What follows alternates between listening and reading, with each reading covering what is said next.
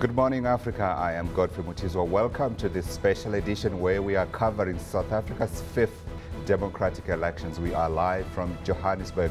In the studio with me, I've got guests who will be taking us through some of the issues that we'll be looking at today as we look at uh, what South Africans decide to bring into as the next executive in Africa's second biggest economy. I got that right. Africa's second biggest biggest economy. And uh, with me in the studio is uh, Mteto Nyati, Managing Director of Microsoft South Africa, and uh, Trudi Makhaya. She is an independent economist. Gent and lady, welcome.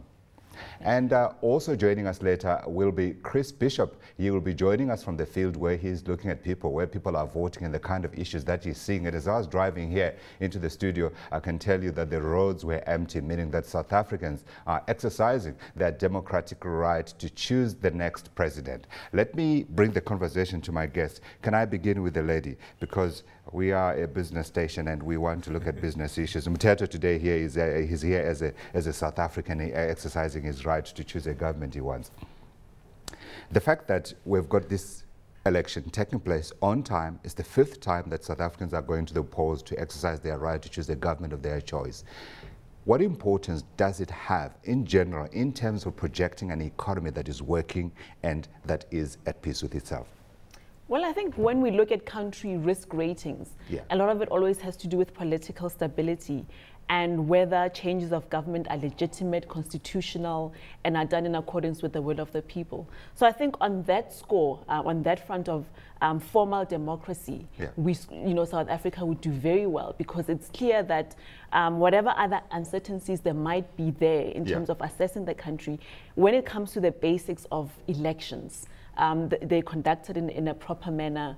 Um, there haven't been many allegations, and uh, you know, in the past of um, untoward behavior or unfair electoral practice. Yeah. So in that sense, you have a, a it projects an image of a strong government, um, a strong country, yeah. um, where there's a, a, thriving democracy, yeah. and where people can exercise their choice. Absolutely. So two key things: number one, elections are being held on time. Number two, they are also free and fair, or perceived to be free and fair. Let me come to you, Mteto, because as I said, you're a South African exercising your vote, but you are also an important component within the South African business landscape because you represent foreign capital. And as she was saying, when people look at a, at a country risk, they look at the fact that uh, the business environment is stable. From where Microsoft stands, how important is this? Uh, it is quite, actually quite important uh, what we are seeing in South Africa today. Uh, in, in fact, what has been happening over the last five elections is quite critical because uh, as I discuss with my colleagues and, and the people I report to yeah. overseas, the things that they continue to be looking at is uh, are you guys going to have free elections? Is yeah. it going to be fair? Is there no violence? And what does it mean for, for the environment of business, the climate? You know, and each and every time we have shown our colleagues elsewhere yeah. uh, that we as South Africa actually can do things and yeah. do things well. Yeah. And they can be comfortable. And that is a very good thing because now we are starting to attract, for example, as Microsoft, more investment into South Africa okay. and Africa versus elsewhere. I'm hoping you're going to announce a more billion dollars to come from Microsoft. I saw those results. They were very good indeed. Yeah. So hopefully some of that might not be coming here. I think part of the problem is that some people actually mistake the noise of the democracy as uh, uh, something that is working against the democracy, when actually I think we should be celebrating the fact that you can have a wide range of choices mm. to have in terms of your president and diverse opinions and positions. That is absolutely true. The other dimension around this thing is sometimes we have South Africans who left South Africa, yeah. and they, what they are doing overseas is to do undo some of the things, the good things that are being done here, meaning a little bit of noise, they amplify it there, yeah. and they give signals which indicate that things are not working here, yeah. Yeah. Which, which is entirely incorrect. Absolutely. We're joined now on our desk as well by uh, Christo Botes. He is uh, uh, with uh, Business uh, Partners. Thank you, Chris, and mm -hmm. welcome. So we're celebrating the noise of the democracy. Are we right to celebrate the noise of the democracy and not worry too much about whether the candidates are right or wrong? Well, uh, you know, just the fact that we can have free and fair elections, yeah. that uh, everyone can voice their opinion. It's very important. Uh, but I'm not a political guy, so uh, I, I, I, would rather stay out of the pol politics yeah. for, for today. But uh, definitely, I, I think there's, there's, there's stability, there's, there's a foundation, and one can build from there. Yeah. And, uh, and that, from my area point of view, uh, SMEs, small businesses, yeah. I think that there's a, there's a there's a platform that yeah. For the business to work, of course, you do need the politics to work. So it's important we analyze the political environment. But before we talk about the SMMEs, let me come back to you, Trudi, and just talk about some of the economic policies that you have had coming out of these guys. We've had the privilege here at CNBC of hosting all of them, uh, e particularly those guys that are framing their economic policies. And then we also had a debate with their youth leaders and talking about uh, some of their views on what they want to see uh, in the coming uh, government. From where you stand, what did you hear? Did you pick up anything that makes you concerned? Or did you pick up something that excited you? The different parties have positioned themselves um, across the spectrum, you know, from left to right. Yeah, are they different? Um, I think they're different. Yeah. So, or rather, some have differentiated themselves far more than others. So the EFF is an obvious example. Um, they have gone with the nationalization route, um, state-led industrialization. I think it keeps the details keep changing as they keep, you know, uh, being challenged. But I mean, it is about expropriation. It is about state ownership. So mm. they've kind of firmly um, put their mast and said, "This is yeah. what we're about." Did Whereas, that frighten you? I you're an economist. Don't think it frightened me to the extent that I know that they're not going to form a government anytime soon. Okay. And also because a lot of the things that they do, they're propagating are national policy issues. Yeah. So even if they gain dominance in certain provinces or yeah. they're the official op opposition in certain provinces, yeah. it'll never come to pass. And if it had to come to pass, I think there's so many checks and balances in the parliamentary process yeah. um, that some of those ideas will probably never see the light of day. Mteto? Yeah. Yeah, uh, looking at the, the political landscape, I think most of the parties are targeting the right issues. For example, the, the question of, of unemployment right. or youth unemployment in particular, jobs yeah. and jobs and jobs, yeah. and it's something that is almost common throughout. All of them, And yeah. that's very important. Yeah. And the question of trying to support small businesses is linked to the jobs question as well. Yeah. And that's quite common. What concerns me is, is, the, is the noise of the EFFs. Right. And, and, and it's, it's an important noise because uh, on the one hand, it's capturing some of the things that some people are feeling yes. like it needs to be done. So it's it good, it's good market, that we yeah. have something like that. Yeah. But if it were to come to pass, yeah. it would really be a bad thing for business, in my opinion. Absolutely. Chris? I, I agree. You know, we need a Let me rephrase the question for you. Mm. Which one would you want to come into government based on their policies on SMMEs? Well, you know, everybody is making uh, the, the noise about job creation, about small business, that's important and everything. Yeah. Uh, but government intervention uh, and uh, being responsible for the job creation, it can never work. so I would rather support those that say, let's get the legislative environment right. Yeah. Let's get the policies centered around SME development and job creation. Yeah. There, you can you can get you know like for instance the right financial support uh, programs, the ri right non-financial support programs. Yeah. You know, even uh, you look at at preferential procurement uh, incentives for job creation. Yeah. Those type of things can can can work. Now, if you if you look at who is is doing uh, is saying that they want to do that, and less government intervention, then it's the Democratic Party right. and the ANC. They also making the same noises yeah. about a special ministry, etc. And I think that's we need better coordination, yeah. better focused programs on SMEs. Let's talk about that Ministry of Small Businesses, proposed Ministry of Small Businesses, before we get into the deeper economic policies. What's your view on the creation of another uh, ministry within government specifically focused on SMMEs? I, I hope it's not another ministry. I hope it is just a reshuffling and then a focus on because we can't afford extra cost. Okay. Uh, but if they can reshuffle and they can put the focus that that ministry Yeah. actually uh, coordinate all the initiatives of government and the private sector Yeah. to, to be focused on SMEs, then, then it can work. Yeah. Uh, so I'm in favor of that, but, But must. you want it to be done within the current existing structures rather than creation of another uh, ministry. Mteto, would you agree with a ministry? You work with a, sm- a lot of small Yeah. businesses yourself. Would you agree with a ministry that focuses just on SMMEs?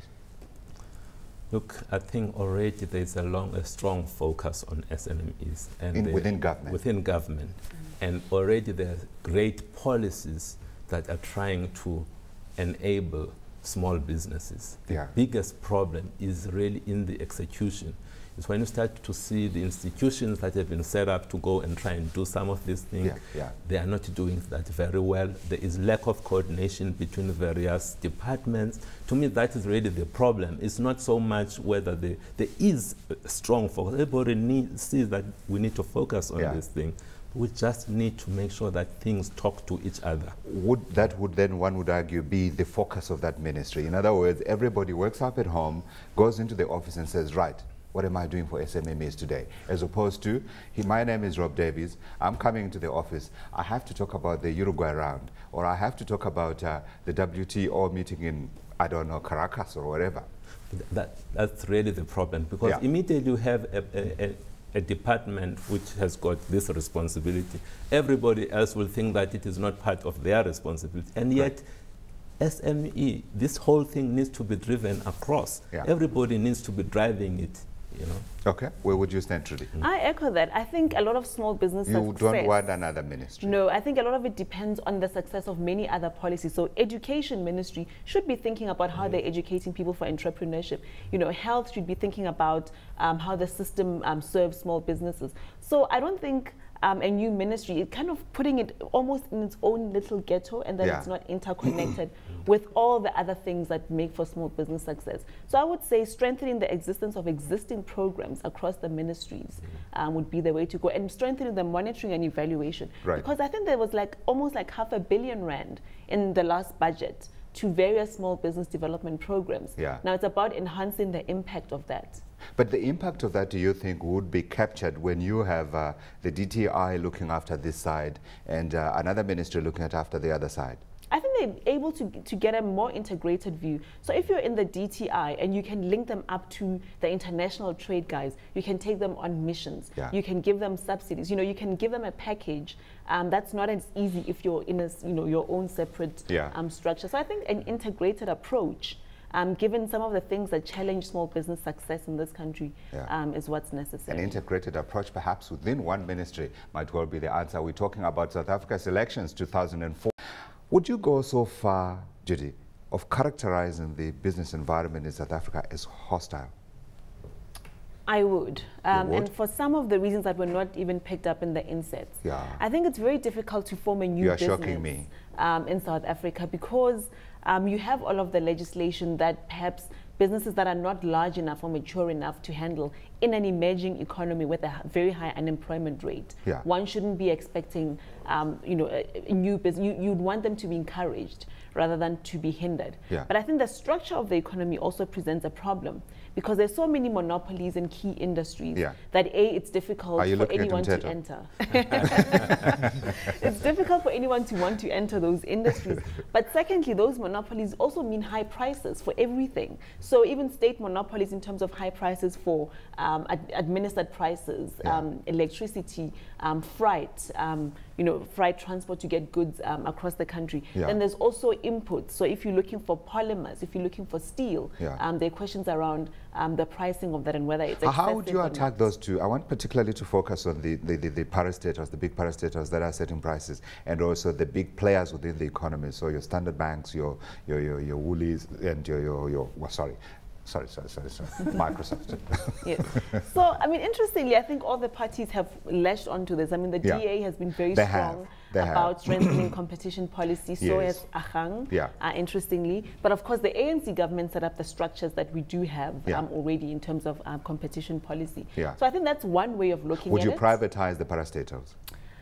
Some, some, not all of them, because I think there's also a recognition that some will always have universal obligations that don't translate well into um, commercial uh, imperatives. Yeah. So if you, if I mean, I think we should be agnostic to these things. You can privatize yeah. and still give them obligations in terms of that, or you keep keep them national but ensure that they're efficient. Yeah. You know, it shouldn't be about yeah. nationalization versus. I'm seeing red flags. I'm but seeing red flags. it should be about getting the outcomes of efficiency and also those um, public service obligations you want out of them yeah. without stifling the economy and being too expensive and not offering the kinds of services that you need for a dynamic economy. And how would you tackle the big economic players?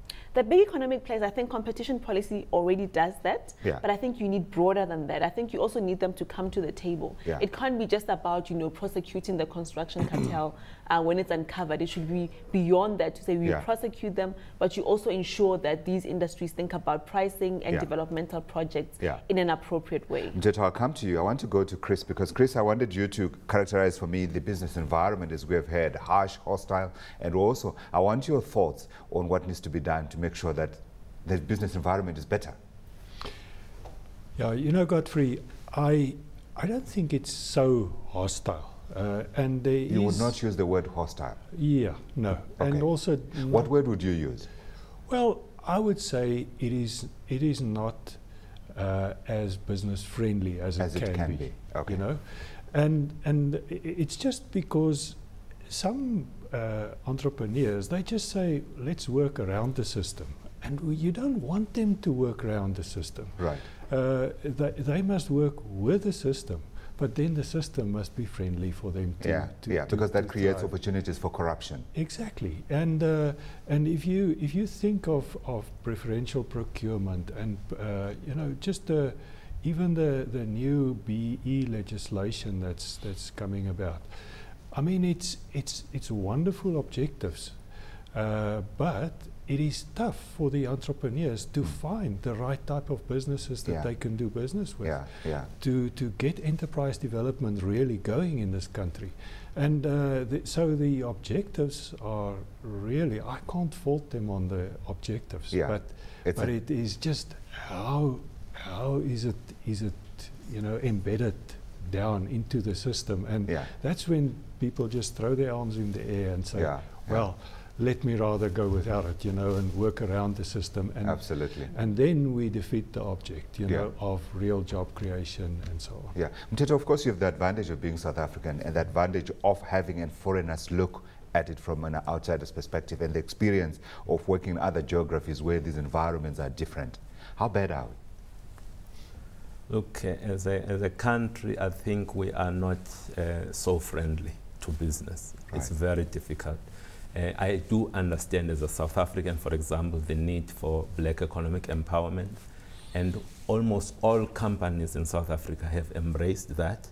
But the changes that continue to happen, Mm. when things have settled and now you kind of like know where you should be going, Yeah. and then you, it, it gets changed again. So these are the things that frustrate many investors in this country. You need to have stability Yeah. so that there can be the predictability. Pe- People can plan, plan long term, put resources behind things. Yeah. So that is the other thing that we need to learn. You know, if we change its government, it's still the same ANC government, Yeah. but it's different players. They come up with different things. Why don't you keep things the same? Just continue to simplify, keep the things the same, but Yeah. try and simplify. What are you saying? The president, when he, if he comes back, sorry, I was going to say, Yeah, if he comes back, if he comes back, he might he might come, for example, with different ministers and a different who- you're suggesting who- that maintain, those who are there. No, maintain the, the policies Okay. and the things that the regulation maintain that. Don't keep changing. For example, BE has been changed. Yeah. You know, and now people who had already been committing to this thing Yeah. and driving things, they're saying, "I will give up." Yeah. Now that gives it leaves me in a difficult position because as, as they say, constant is the, sorry, change is the only constant really. You yeah. need to continually mm. reinvent yourself in order to be appropriate. I mean, you guys have had to do it over and over again. Yes. How do we do that while at the same time ensuring the creation, as you are asking for, of a stable environment with consistent policies? It, it is very important to have that stability. Yeah. At the same time, you have to look at the environment and yeah. see whether you and are adapt. Not, yeah, yeah, and adapt. Yeah. But what I'm saying is that before you even are able to learn whether this thing that you are doing is, is, is, is achieving its okay. objective, Give it time to, to change. You know, you need to first understand the implications of this thing yeah. and, and learn from it. And then when you are changing, you are changing in line with your you know, the insights that you have managed yeah. to capture. Okay. I want us to talk about uh, the three parties' economic policies. Mm. And I want us to talk to them uh, about the potential impact they will have on the business environment. Mm um, I'm picking the three. Uh, this is in my head that are going to be the three. Let me go. Here we go. So ANC, DA, and I think EFF will have something to say about this election and may well have something to say after the election. Let me start with you when you look at the ANC, and I'm picking the ANC because they're the governing party, and in all probability they will be back. When you look at what they are saying, do you get any sense that when we come back, we'll get a rejuvenated government that will make meaningful, real change? We'll get a government that's being pulled in different directions.